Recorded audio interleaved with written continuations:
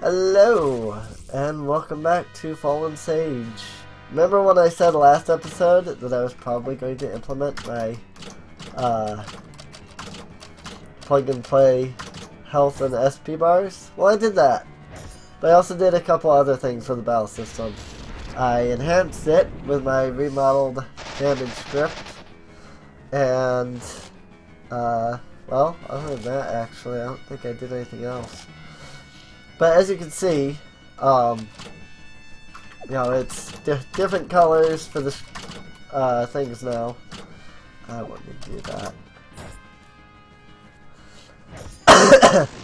like the text is coming up in like different colors and stuff now. And it looks a lot more refined and the health bars are there and stuff now, so I can actually tell where my hit points and SP are at. I'll be able to see like when I'm running low on stuff. So that's a good thing. Octorox! Levers! Sorry. I just, I love that commercial. I know I said it last episode, but I love that commercial, so. And yes, as you can tell, I am still sick. Because I literally am recording this like two minutes after the last. Oh. For a second there, I thought I had my cursor in the thing. And it was actually just General Kazak's lance, so. Never mind. I don't have my. I don't have to worry about the cursor.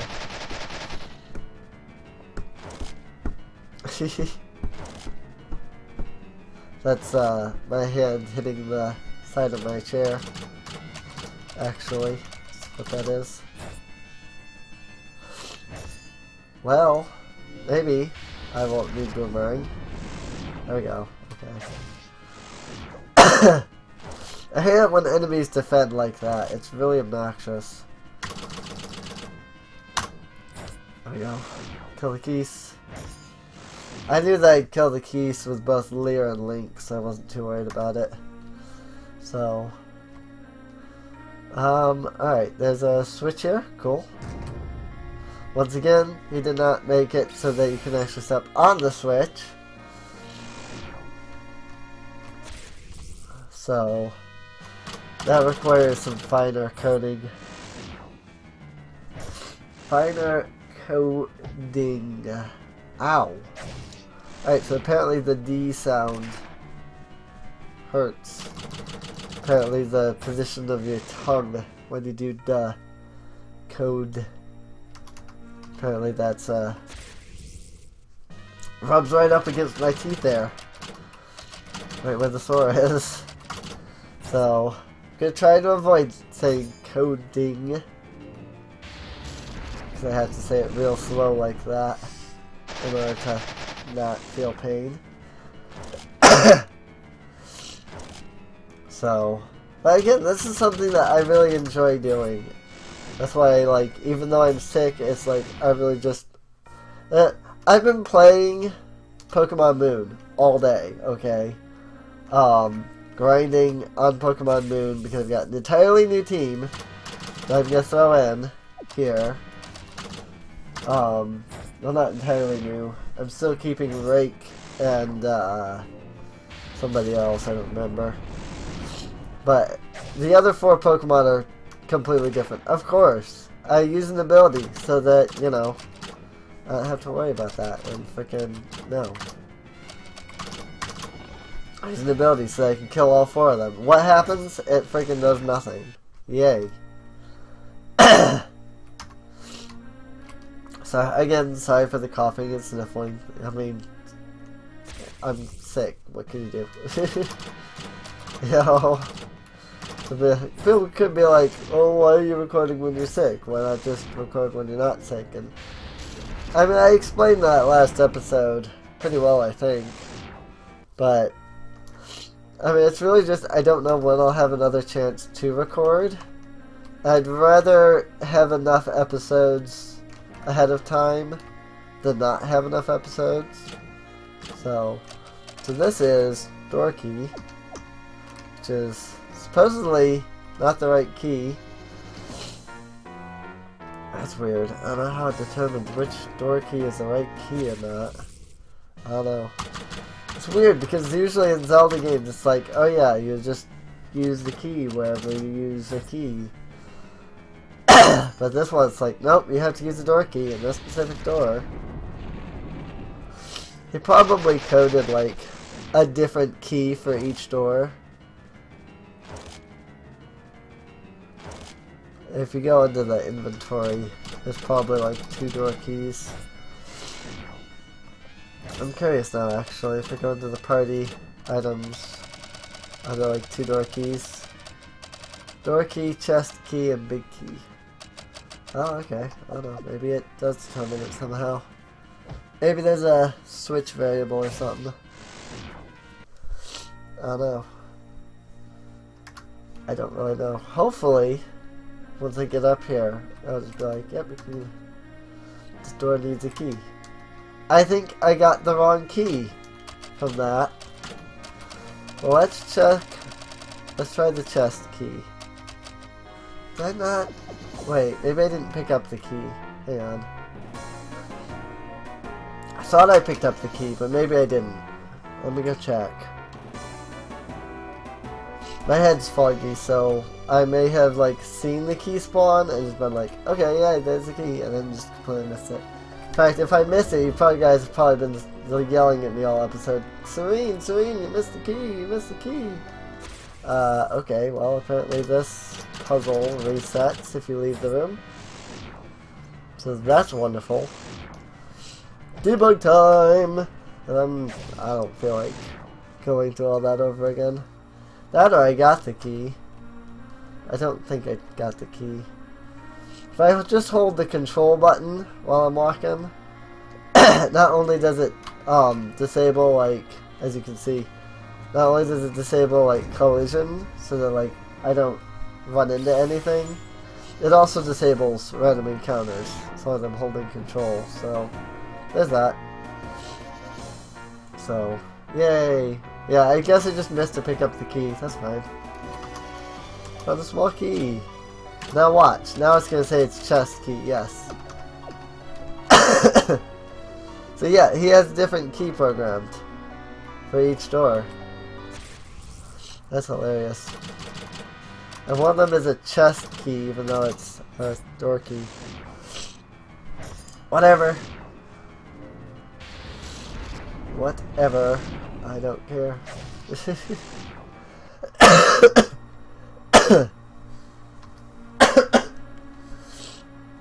Sorry about that. Alright, so...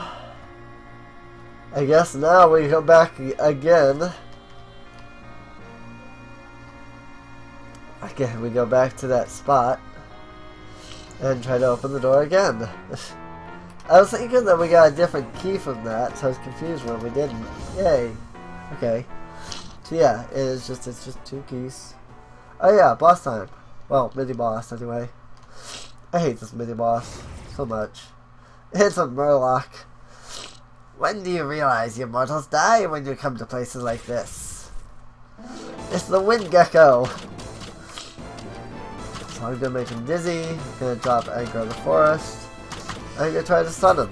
Let's see if that works. See if any of that actually does anything. we'll see. Lots of destruction. Alright, that's fine. Uh, faint attack can inflict stun, so let's try that. Um, let's go ahead and throw out a high green potion. Let's throw out a high potion, high red potion. Um, yeah, that should that should do it. Oh, is he immune to stun? That would be cool. First boss. Nope, I think I stunned him. I think I stunned him with, uh... What's his name? Kazak.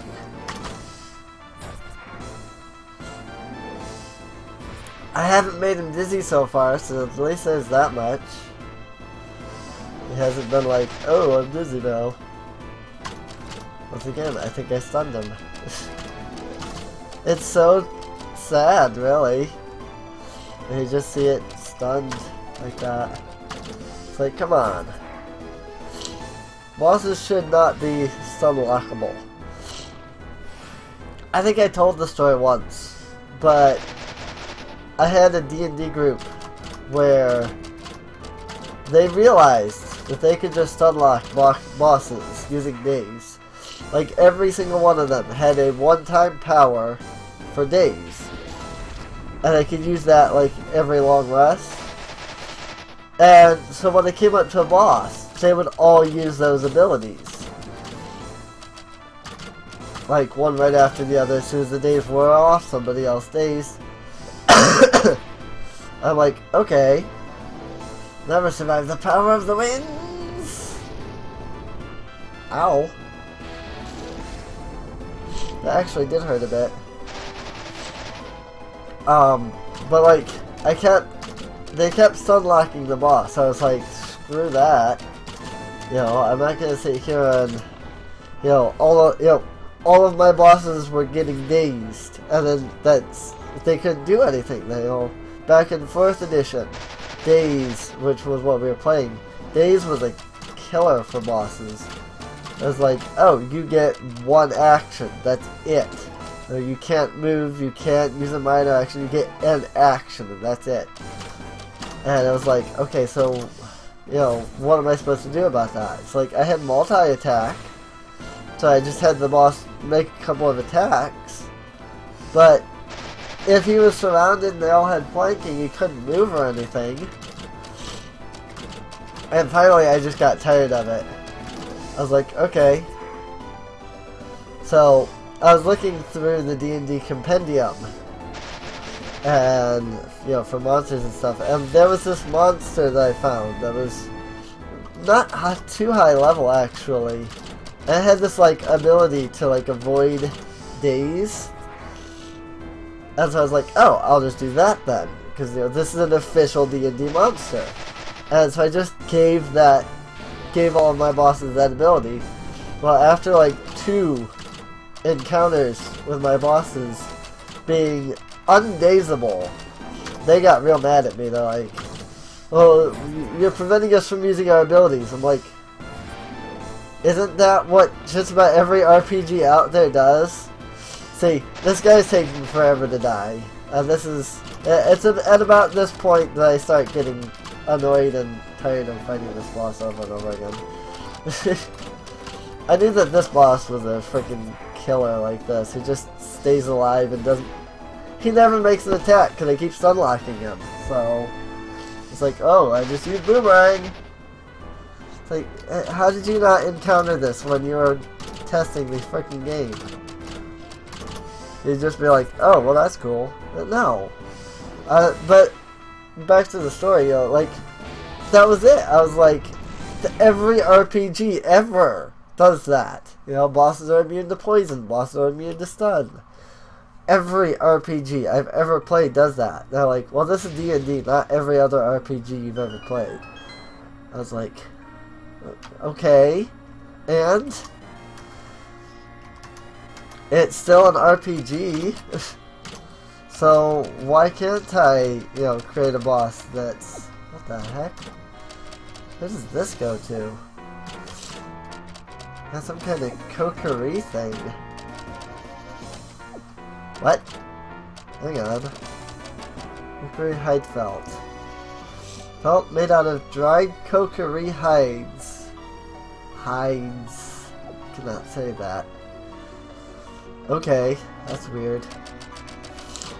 I don't know whose it belongs. I don't know who it belongs to either. Nobody can equip it. Whoops. Uh, that's a bug in my uh, debugger. Uh, I should fix that. Because I, the debugger I actually have set up so that it lowers everybody's level and it makes them all equal to Link's level and I just realized that um, that also means that they technically take a crap ton of damage. Oh well. It's not that big of a deal to heal up from it, so I don't worry about it. Because then it would be a free heal. I'd just be like, oh, I don't need to heal, because I can just use my debugger. And that would be unfair, you know? Because I could fix that using a recover all command, but again, then I just, it would be dumb. Because then I just have a free heal anytime I feel like it. So instead of having a free heal, I'll just go in and give it so that, uh, you know, I don't heal. I have to heal after using it. Sort of a, a downside to using it if you would. So there you go. It's like, oh, do you really want to use your debugger to even out everybody's levels? Because here you go. You're gonna have to stop and heal everybody up, other than Link, because they're all gonna be down to like 500 HP. So I like that actually. I want to fix that bug. So, there's that. Um, I think the boss is coming up pretty soon though. I definitely want to end the episode before the boss. But I'm trying to do a little bit longer episodes. I've always tried to do like, well not always, but lately I've, before I was trying to do like 15 minute episodes. And I guess now YouTube's algorithm focuses on like watch time.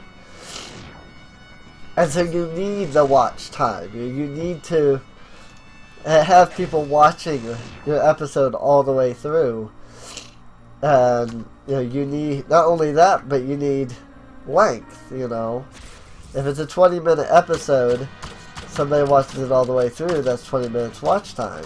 If it's a 2 minute episode, if somebody watches all the way through, it's still only 2 minutes of watch time. Which I think is dumb. It, it should be based on, like, total view time, like, total view retention, as opposed to minutes watched. And that's what it is currently. Actually, that's how YouTube system worked before. It was retention time. But they changed retention time to minutes watched. It's like, it worked better with retention time. Because then, like, the three minute episodes still got a lot of views. Because you retained the viewership through the whole thing. So now it's like, it's better to record like half hour episodes. And just hope that people are watching all half hour because you, if you're to record 15 minutes, you know, but yet your people are going to watch more, you know, there's no point. So, Think if I record a 15 minute episode, it still counts as only 15 minutes. As if I record a half hour episode, now it counts as half an hour for one view, you know?